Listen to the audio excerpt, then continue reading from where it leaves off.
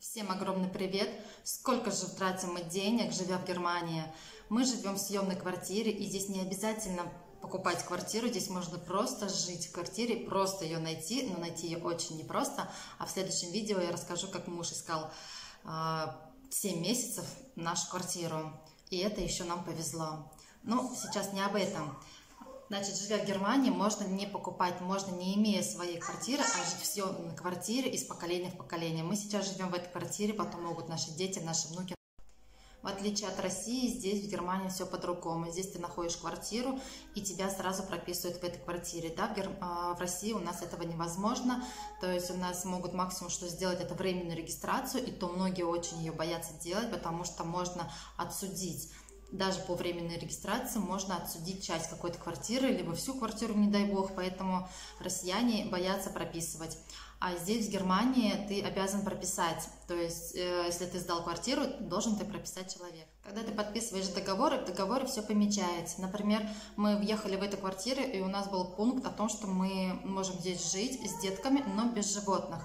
Поэтому наши все кошечки остались у бабушки в России. И еще, когда ты съезжаешь с этой квартиры, ты должен, вот как мы приняли ее квартиру, допустим, белую, да, вся, все стены белые, линолеум, все вот в таком состоянии, должен сдать. И за нашу квартиру мы платим 950 евро, это с отоплением. За что мы еще здесь платим? Мы платим за интернет, за домашний интернет. Он у нас не а, безлимитный, он с каким-то ограничением. Также мы платим за два телефона, за две сим-карты интернет в 20 евро. И вывоз мусора. Мы платим за мусор 160 евро в год, но буквально месяц назад мы платили ежемесячно. Этого делать, оказывается, нельзя. То есть надо ехать к ним, писать заявление, что мы хотим, допустим, разбить эту сумму и пишите заявление, и тогда можете платить ежемесячно. Но нам об этом никто не сказал, и мы платили ежемесячно, переводили им на счет. И к нам пришла бумажка а, с предупреждением. Следующее письмо было бы штраф. Вот, и муж позвонил, узнал, и оказывается, вот так выяснилось. И теперь мы доплатили всю сумму э, за год и будем платить в год. Там в год 160 евро выходит. Потом э, абонемент. У меня муж ходит э, в, спорт, в спортзал, и у него абонемент на 2 года и стоит ежемесячно 22 евро. На продукты мы себе, как бы, в принципе, ни в чем не отказываем. Фрукты, овощи, и сладости, и мороженое, и булочки, и хлеб. Ну, все, что хотим, мы себе покупаем, что-то интересненькое пробуем, что-то новое пробуем. Где-то выходит 600 евро.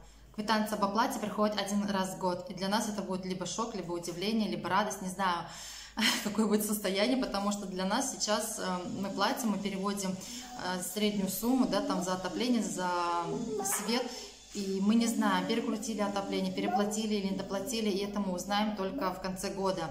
Если мы не доплатили, соответственно, нам придется доплатить эту сумму. Если мы пере, а, переплатили, то это делается перерасчет э, в следующий год и будем платить тогда меньше. Это тогда ну, будет здорово и классно.